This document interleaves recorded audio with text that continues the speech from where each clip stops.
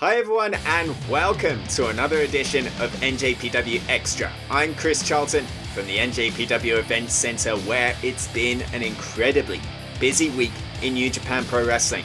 We're just hot off the heels of Battle in the Valley in the San Jose Civic, World Tag League and Best of the Super Juniors are underway. There's so much to get to, including some exciting action this week as Yuya Uemura will take on David Finlay in our featured match. That coming up later in the broadcast, but first, let's take a look at what's happening in New Japan Pro Wrestling around the world. In Japan, and after the events of Power Struggle, we have our first main event of 2022.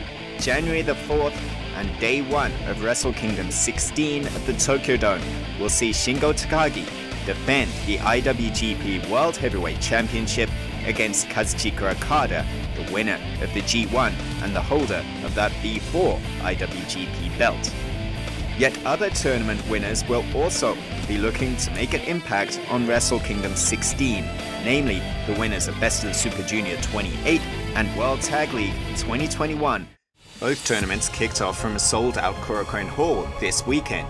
Best of the Super Junior 28 getting started with Bushi and Douki continuing their animosity. Heel Master Yoshinobu Kanemaru taking on former IWGP Junior Heavyweight Champ Taiji Ishimori.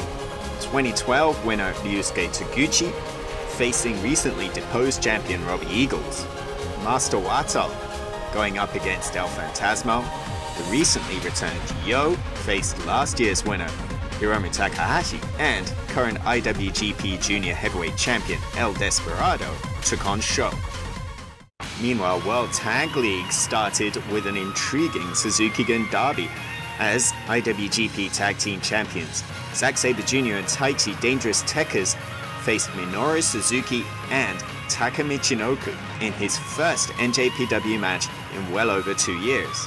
Six-time IWGP Tag Champions Ten Koji took on Tiger Mask and Yuji Nagata.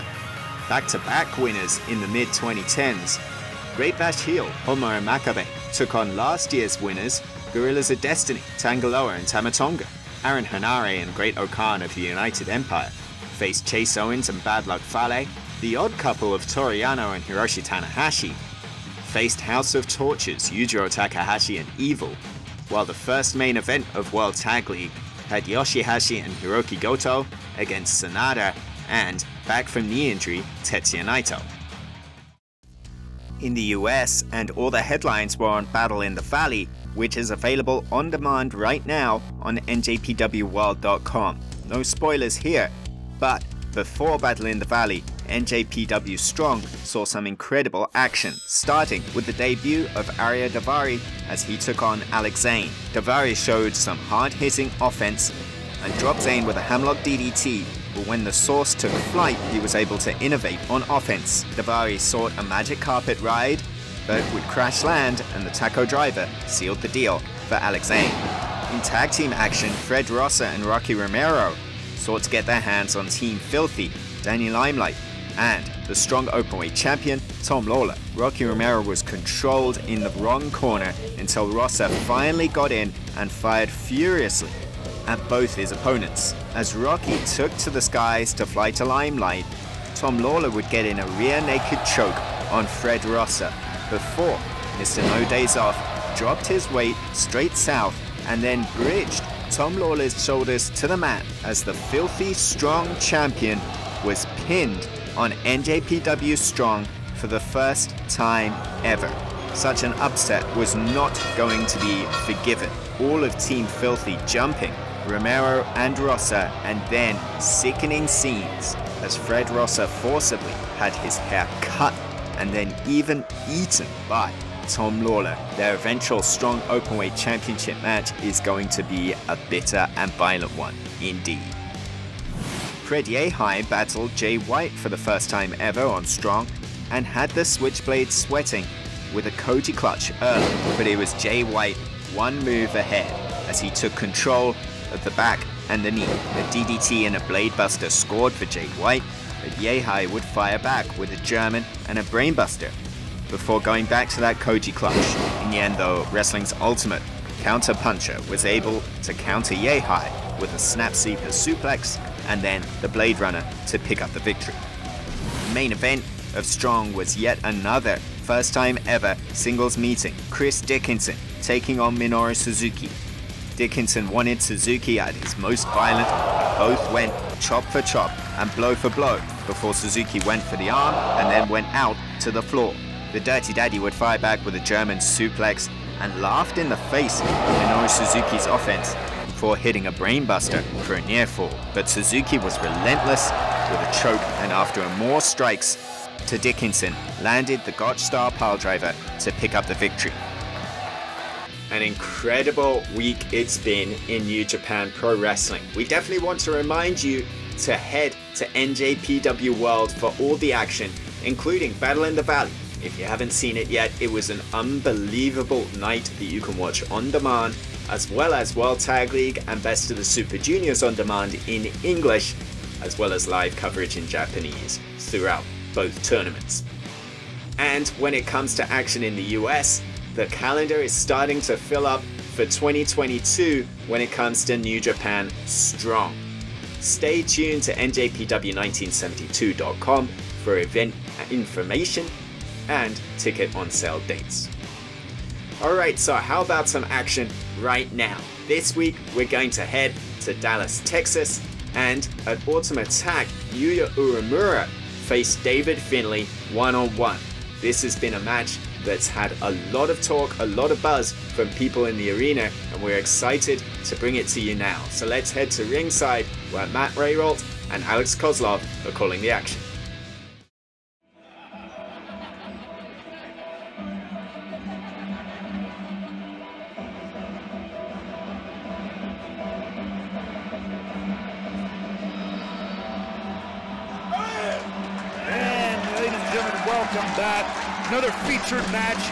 On New Japan Strong, extra right here on YouTube.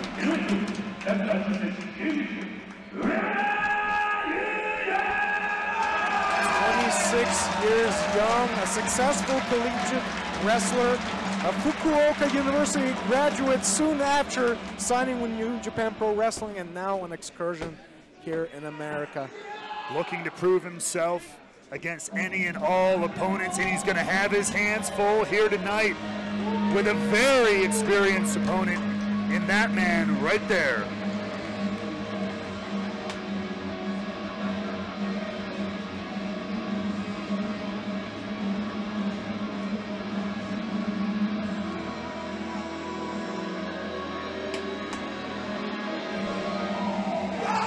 There he is. As exciting as ever, fourth generation wrestler. Grew up with a ring in his backyard. He's got wrestling DNA in him. He's he's been wrestling all his life. That's right. Trained by his father, Absolutely. and then went through the NJPW dojo system. Became a, a tag champ with uh, Juice Robinson, known as Vin Juice at Impact Wrestling and also New Japan Pro Wrestling. And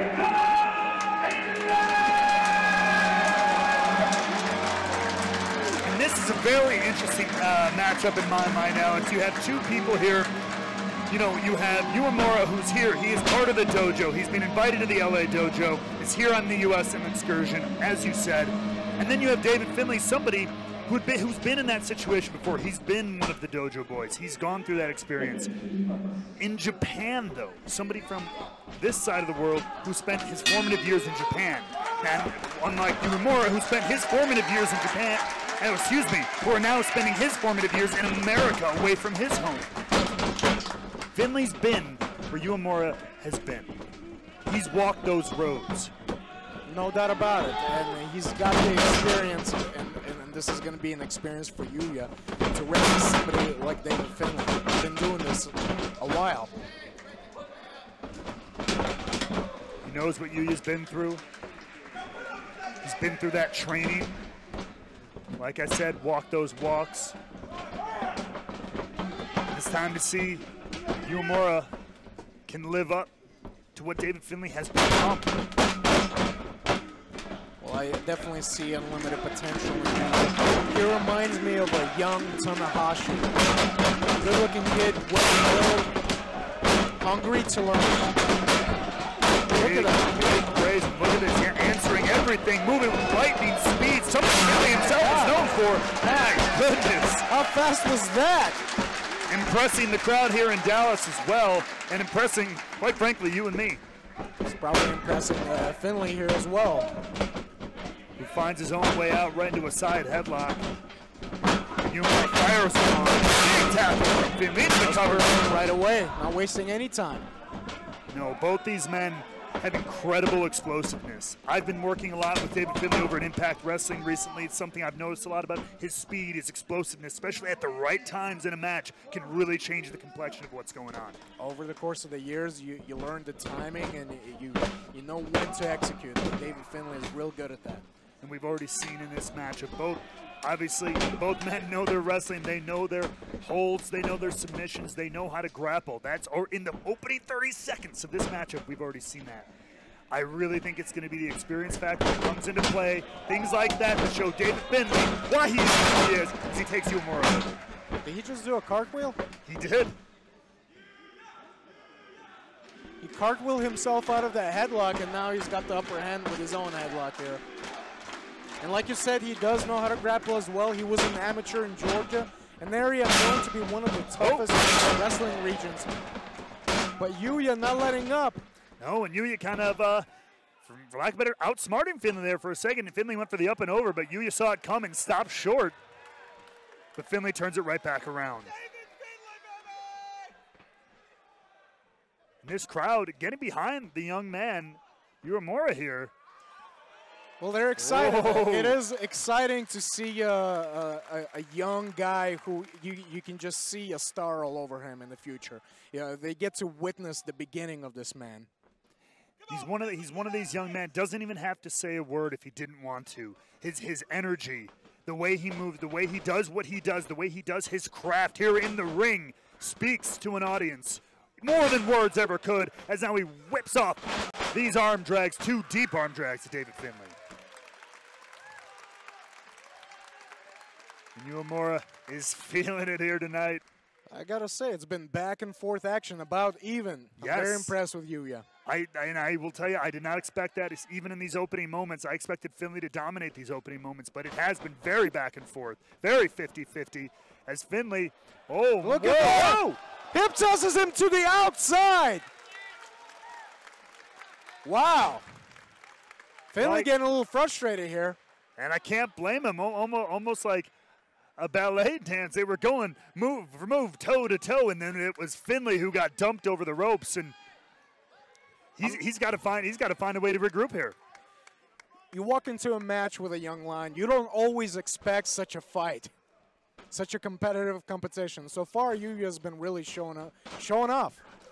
Oh, cuts him off with a sharp, vicious back elbow and a senton and a pin. Kick out for the young man though, and maybe that was just it. Some you know, back and forth, move for move on the grappling. Finlay says, you know what? That's all good until you get socked in the mouth, or should I say elbowed in the mouth. He's just pulling on the nose of Yuya here, referee. Definitely a change of strategy for Finlay here. Maybe deciding if I'm not going to out wrestle him, I'm going to out smash mouth him. I'm going to out strike him. He's just. But, ooh! I think I he's trying to get Yuya angry. He's trying to get in the head of Yuya. Here. Could be. Hard European uppercut. Again. Fin oh! Finlay knows what it's like to be in those in those footsteps. He knows what it's like to be in those shoes. He knows what Yuya is feeling like. Yes. He knows the pressure. He, has he been knocked around by a couple legends in his day too. Into the cover. Yuya kicks out. He, he's been European uppercutted. He's been chopped by a few New Japan legends in his time. He wants to make sure this young man gets that experience.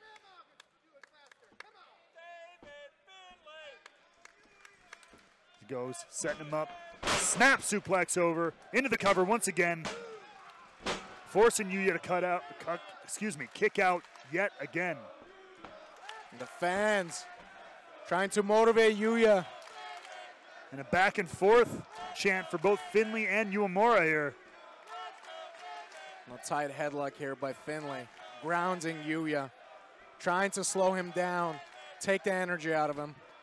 I mean, Alex, I know it's been about 50 years since you were a rookie, but I mean, you got it. What was it like? What do you do in a situation like this? How do you how do you bring it back for someone like Uemura here in the cover? I would say just keep Whoa. doing what you're doing. Oh, like that? Into Just the cover like with the that. bad Look at that. backside. You're gonna feel the butterflies. There's no, no way around it. Just go with it. Use that energy. Look at that drop kick.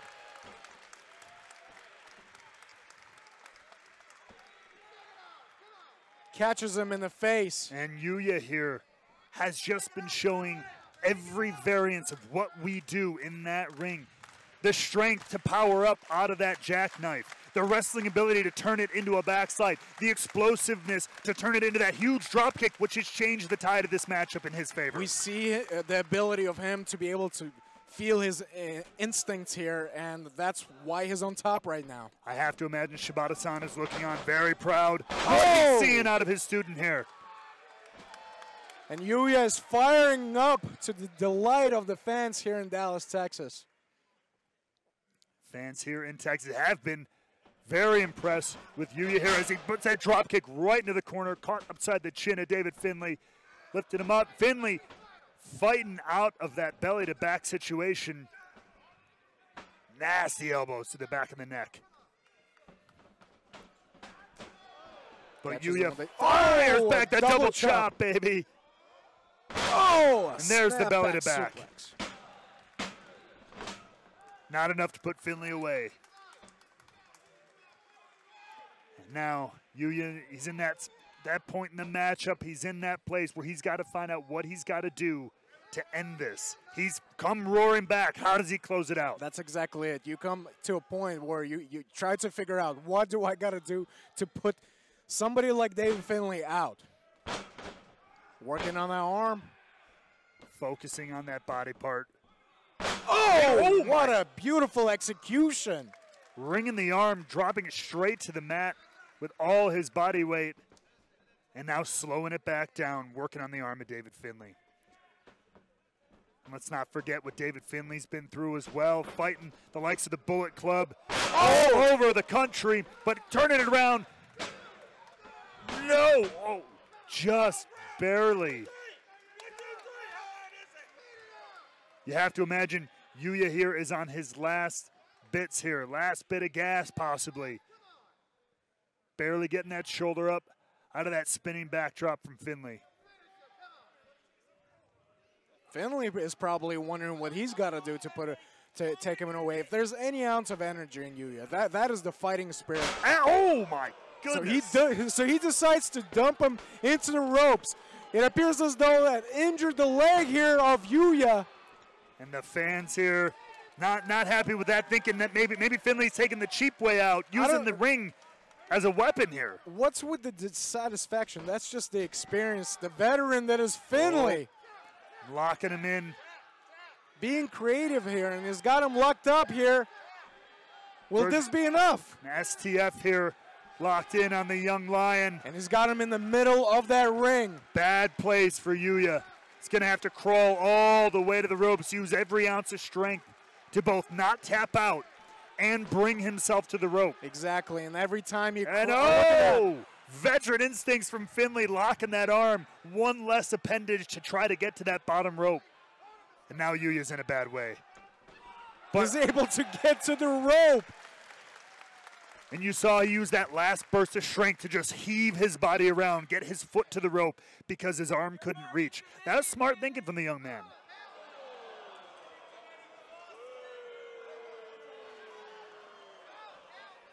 And Finlay Finlay. ta- taking some exception to, uh, to maybe a comment from one of the uh, fans not too happy with his tactics here in Texas.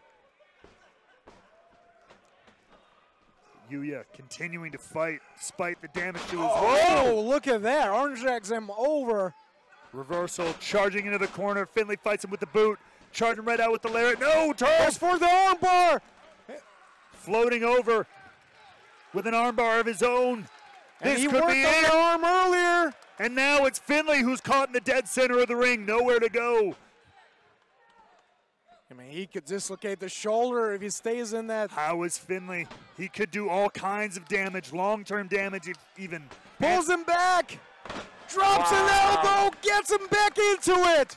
This is a painful, painful submission to be in. You can see it etched on the face of David Finlay.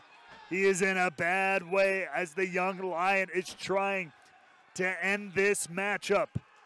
I tell you, Matt, I did not expect Yuya to bring this kind of fight to David Finlay. No.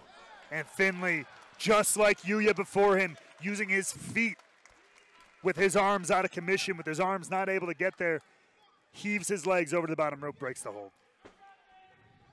Well, if I was Yuya, I would continue to work on that arm. You've got to. You can't let a veteran, someone in Finlay's position, you can't let him rest. Ooh, crossbody directly into the ropes. Oh, wait a minute. Whoa, whoa, whoa, whoa. Oh, turns him over for a pin, too. Oh, my God. That was a close one there, Alex. And there, oh! oh, Dropped him on his knee. right into the backbreaker. And Oh, my God. Man, what is going on here? I am that's a two. How does he find the wherewithal to kick out? Finlay calling for it. Suplex up. Oh! Across the knee. Brainbuster That on the knee. over. That's gotta be. And it is. What a match!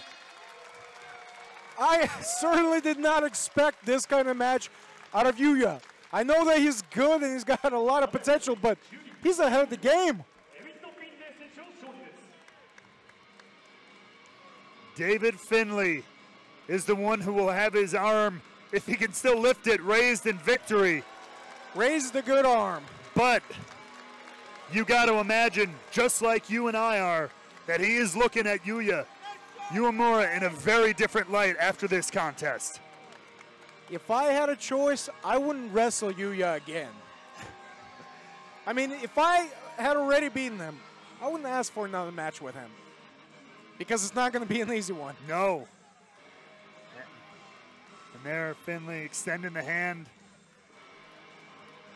Clearly, Yuya earned the respect of Dave here. Maybe they'll go out for a few beer skis after this. You never know. I don't, I don't know what kind of, maybe, maybe a whiskey or two. Maybe I'll join them.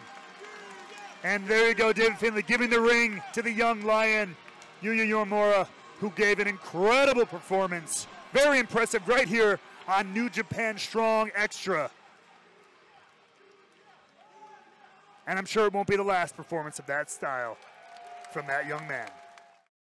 What a fantastic match as David Finlay was pushed to his limits by Yuya Uemura, who continues to impress on his excursion as part of the LA Dojo. And speaking of the LA Dojo, they'll be in action next week as well.